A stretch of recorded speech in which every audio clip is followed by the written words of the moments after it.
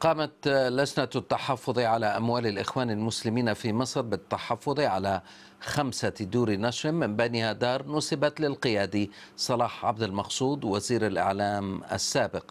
تشير بعض المصادر إلى أنه على الرغم من ضخامة الأموال المتحفظ عليها فإنها لا تمثل إلا جزءا يسيرا من الأصول الحقيقية للإخوان المسلمين. من القاهرة تقرير محمد حميدة.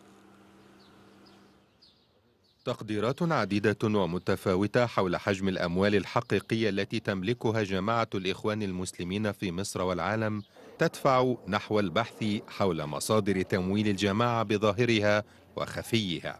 وطبقا لقياديين بالجماعة فإن أحد أهم مصادر التمويل هي استقطاعات تسمى بالاشتراكات تمثل من 7 إلى 10% من دخل العضو الإجمالي يذهب للجماعة التي يعتبرها أعضاؤها كيانا مستقلا.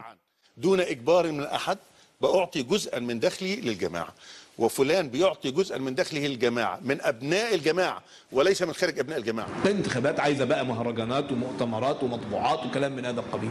يروحوا عاملين على الإخوان كلهم سهم أنت بتدفع 3% أو 5% أو 7% في الشهر لا المرة دي إحنا عايزين منك ربع المرتب. ربع دخلك مش المرتب.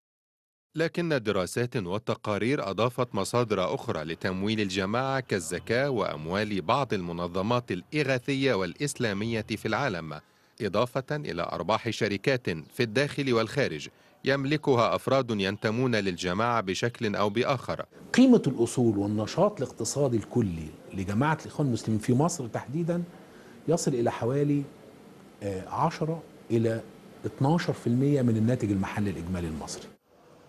عدم إلمام الجهات الرسمية في مصر بمصادر تمويل أو بحجم أموال جماعة الإخوان واختلاط أموال الأفراد الخاصة بأموال الجماعة جعل مهمة اللجنة المكلفة بالتحفظ على أموالها ليست باليسيرة. فتراجع تقديم الخدمات الأساسية للمواطنين إبان حكم الرئيس السابق مبارك سمح للجماعة وأفرادها بالاستثمار في تقديم الخدمات التي كونت أرباحا وأصولا عصية على الرصد. وقت ما كانت الدولة بتخرج الدولة المصرية بتخرج من أدوارها الرئيسية فدخل تنظيم الإخوان المسلمين ملا هذا الفراغ من الناحية الاجتماعية ومن الناحية الخدمية واستثمر ده في إطار سياسي.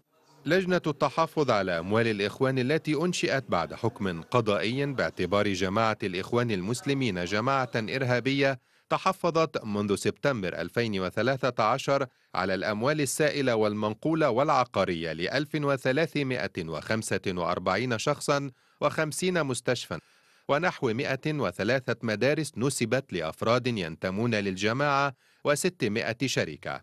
ولا تمثل هذه الأموال في رأي البعض إلا قمة جبل الجليد لأموال الجماعة. التنظيم الدولي لجماعة الإخوان المسلمين وصل إلى 79 دولة.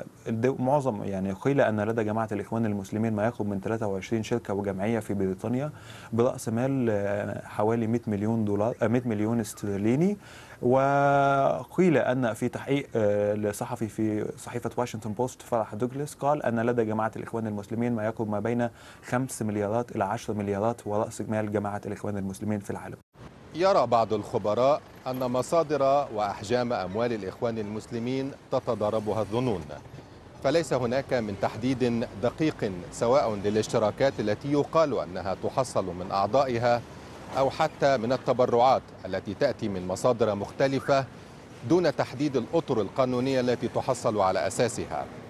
مسارات هذه الأموال تعتبرها الدولة المصرية مسارات داعمة للإرهاب وتطاردها لجنة حظر أموال الإخوان المسلمين والتي يبدو أنها ستستمر في العمل لفترة طويلة من الزمن. محمد حميدة بي بي سي القاهرة.